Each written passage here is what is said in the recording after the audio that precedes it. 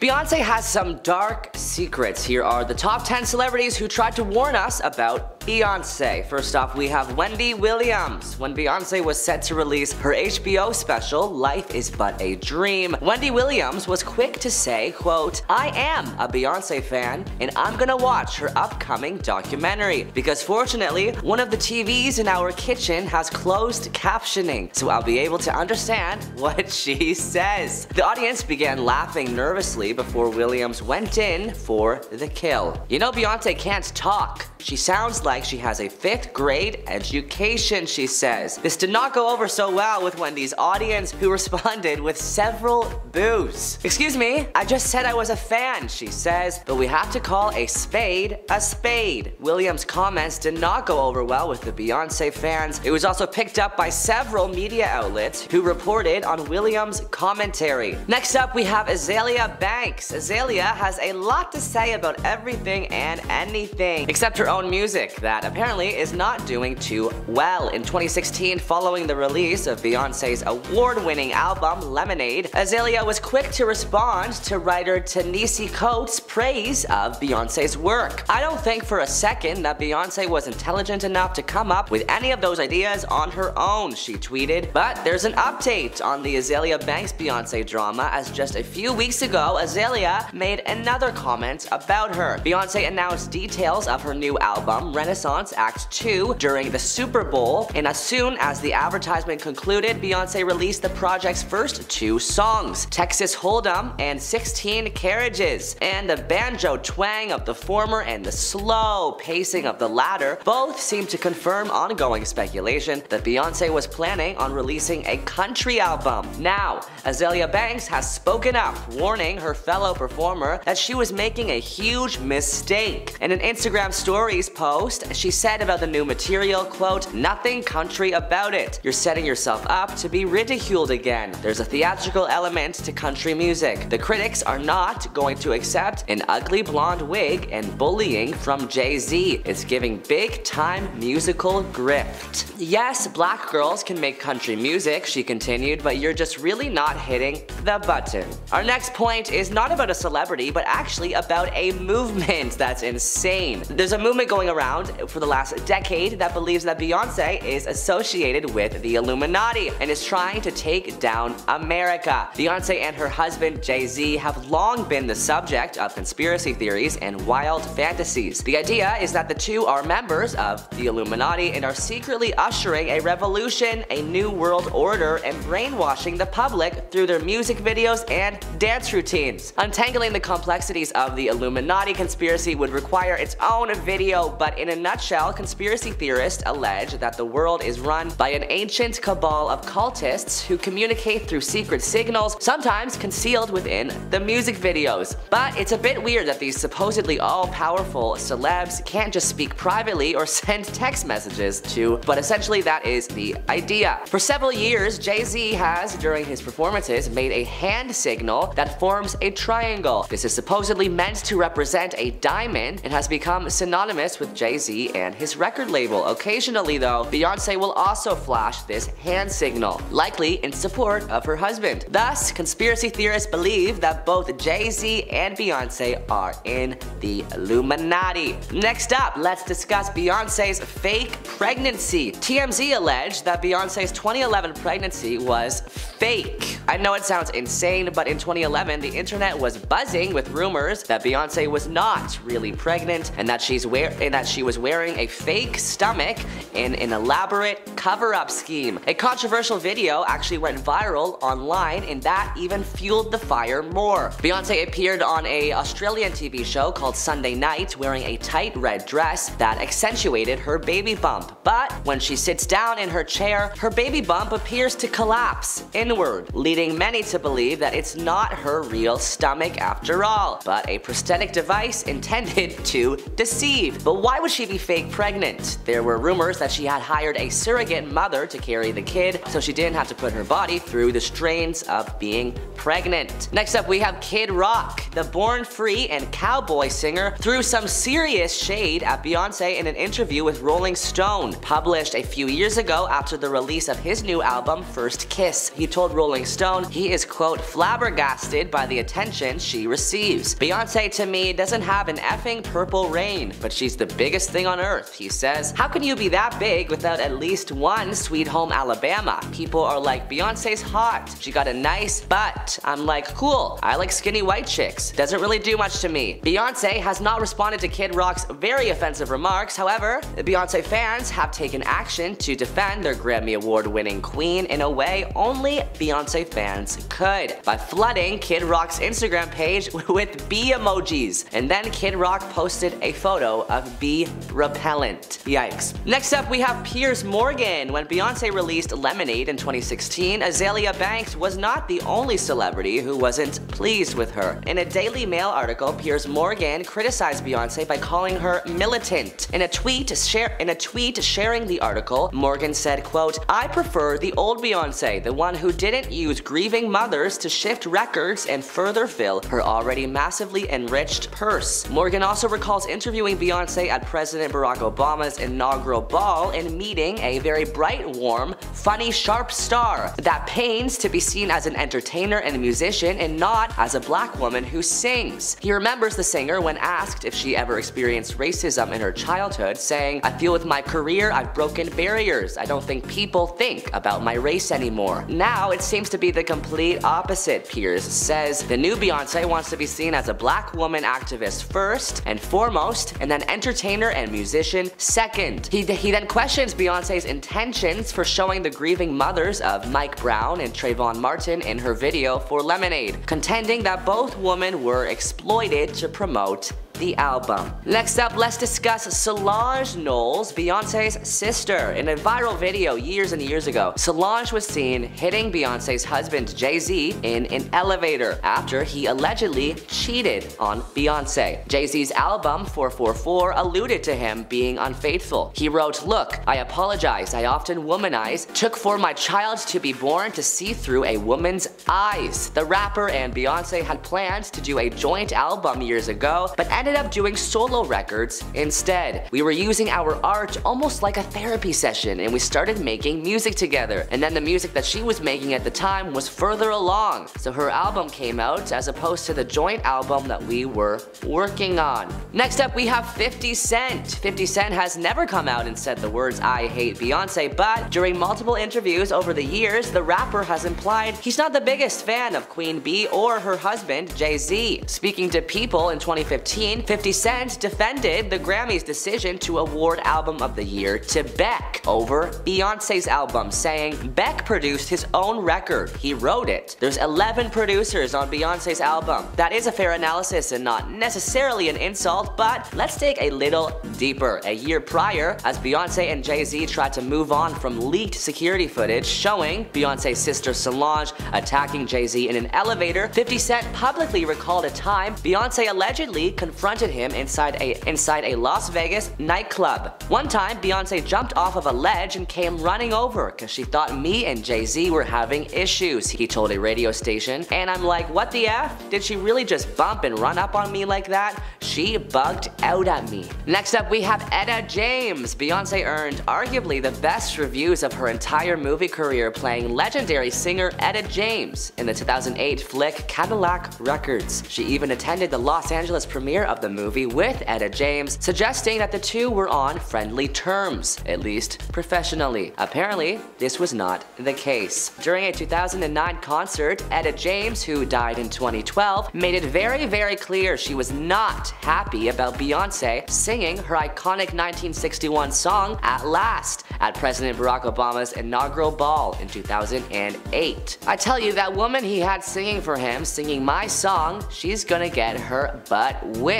she says. The great Beyonce, I cannot stand her. Etta James said Beyonce has, quote, no business being up there singing, singing on a big ol' President Day, and singing my song that I have been singing forever. Lastly, we have Rihanna, who allegedly has some beef with Queen Bee. Apparently, the work singer wants Jay-Z back, and that is why she is casting some shade. Rihanna and Jay-Z have known one another since 2004 when the young singer from Barbados was called into the offices at Def Jam Recordings where Jay-Z worked as the president. Rihanna has since admitted to being incredibly nervous about meeting him and told The Guardian in 2007 she didn't actually get nervous until she was face to face with the man who would change her life. As she put it, I was like, oh god, he's right there, I can't look, I can't look. Before Beyonce married Jay-Z, Rihanna and him were constantly seen in paparazzi photos looking pretty cozy with each other. Beyonce seems to be a generally well-liked celebrity, but here are some celebrities who have exposed Beyonce's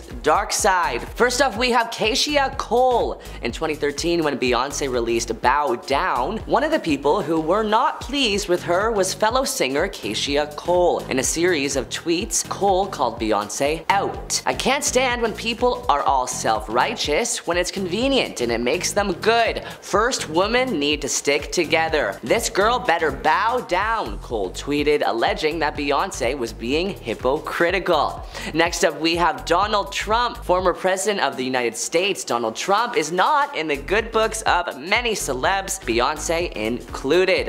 In 2016, when he was running for office, he didn't have most celebrities' support. And if his 2019 Minneapolis rally speech is anything to go by, he didn't need them apparently. At the rally, Trump sent some words in the direction of Beyonce, Jay-Z, and even Bruce Springsteen, who rallied behind Hillary Clinton. I didn't need Beyonce and Jay-Z, I didn't need little Bruce Springsteen, Trump said. I really like Jay-Z, but there is trouble in paradise. When his wife's sister starts whacking him, it's not good.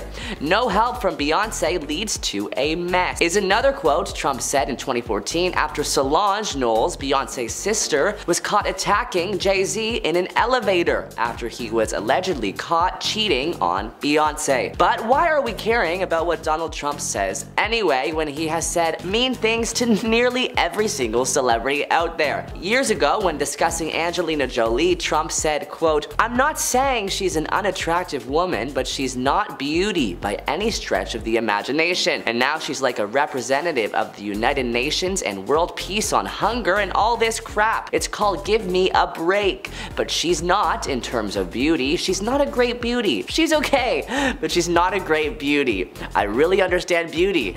I do own Miss Universe. I own Miss USA. Wow. In the history of every negative comment said about Beyonce, perhaps Carlos Santana's words reign supreme, and not in a good way. In an interview with the New Zealand Herald, Santana said, I think Adele won a Grammy because she can sing sing. With all respect to our sister Beyonce, Beyonce is very beautiful to look at and it's more a modeling kind of music. She's not a singer singer. One hit wonder Khia, known for her 2001 My Neck My Back, had some things to get off her chest following the release of Beyonce's Lemonade. First of all, the video was tired, she says, and through and long, and it made black people look bad as hell. You're walking around with this blonde hair, but you want African kings and queens in your videos? Interesting. Our next point is not about a celebrity, but about a movement that believes Beyonce is associated with the Illuminati and is trying to take down America. Beyonce and her husband Jay-Z have long been the subject of conspiracy theories and wild fantasies. The idea is that the two are members of the Illuminati and are secretly ushering a revolution, a new world order, brainwashing the public through music videos and dance routines. Untangling the complexities of the Illuminati conspiracy would require its own video, but in a nutshell, conspiracy theorists allege that the world is run by an ancient cabal of cultists who communicate through secret signals, sometimes concealed within music videos. It's a bit weird that these supposedly all-powerful people can't just speak privately or send text messages to one another, but that is essentially the idea. For several years, Jay-Z has, during his performances, made a hand signal that forms a triangle. This is supposedly meant to represent a diamond and has been synonymous with Jay-Z and his record label. Occasionally, Beyonce will also flash the hand signal likely in support of her husband. Thus, conspiracy theorists believe that Jay-Z's iconic hand signal is secretly signaling his devotion to the Illuminati. It's no secret that Jay-Z is a bit of a ladies man. He's been in the spotlight, so his relationships have had some light shown on them as well. Blu Cantrell was one of his most widely talked about exes, and she definitely threw some shade when she made comments about the connection between her name and that of Beyonce's daughter, Blue Ivy. Her sarcastic comment about how she quote loved their child's name raised a few eyebrows and surely ruffled Beyonce's feathers. In 2003, Blu Cantrell launched a blistering attack on chart rival Beyonce, claiming the Destiny's Child beauty was quote ripping me off. Cantrell was fuming after hearing Beyonce's 2003 single Baby Boy because she believed it was far too similar to her own number one hit, Breathe. Both songs are edgy R&B tunes featuring dancehall star Sean Paul. She moans, Beyonce is talented and beautiful and I'm a fan, but she has a song out which is really similar to mine. She uses words which are in the hook of my song, and if she's that talented, she wouldn't have to copy somebody else. Her song Baby Boy has the exact word breathe in the hook. She's ripping me off, but there is no animosity because I'm a really positive person. However, I'm a little disappointed because she is established and didn't have to do that, but she won't get away with plagiarizing me because I am a number one artist. Blu's anger is increased because Beyonce chose to use Sean Paul in her song as well, and she reckoned that his presence was a direct dig at her. She added, now she is doing a song with Sean Paul because I'm linked with Sean Paul, so I don't know what her intentions are. I'm not tit for tat like that. I don't waste my time sitting around trying to think about what Beyonce is thinking. Next up, we have megastar Taylor Swift. Queen Bee's fans accused the Me singer of copying Beyonce's 2018 Coachella set with her performance at the Billboard Music Awards in 2019, both of which heavily featured drum lines and very similar choreography. I see Taylor Swift is doing the, the great value version of Beyonce's Homecoming, one Twitter user joked.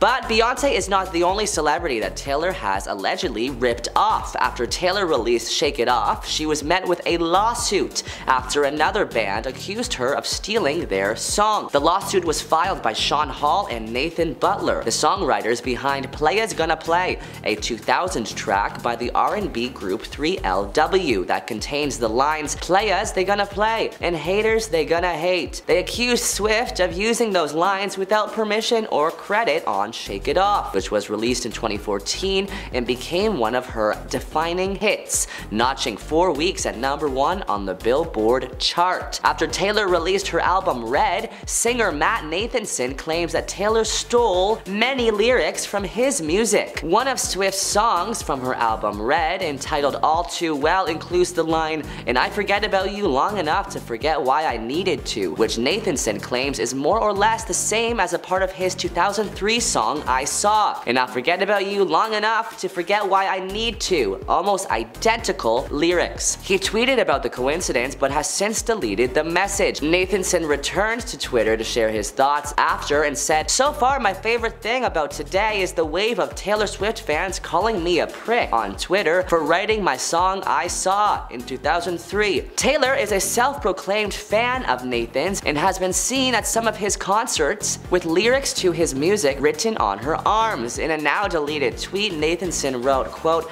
She's definitely a fan and now she's a thief. Now back to Beyonce. Our next Beyonce hater is 50 Cent. 50 Cent has never come out and said the words I hate Beyonce, but during multiple interviews over the years, the rapper has implied he's not the biggest fan of Queen Bee or her husband Jay-Z. Speaking to People in 2015, 50 Cent defended the Grammys' decision to award Album of the Year to Beck over Beyonce, saying Beck produced his record, he wrote the record. There's 11 producers on Beyonce's album. That is a fair analysis and not necessarily an insult, but let's dig a little deeper. A year prior, as Beyonce and Jay-Z tried to move on from leaked security footage showing Beyonce's sister Solange attacking Jay-Z in an elevator, 50 Cent publicly recalled a time Beyonce allegedly confronted him inside a Las Vegas nightclub. One time Beyonce jumped off a ledge and came running over because she thought me and Jay had issues. He told radio station Power 105.1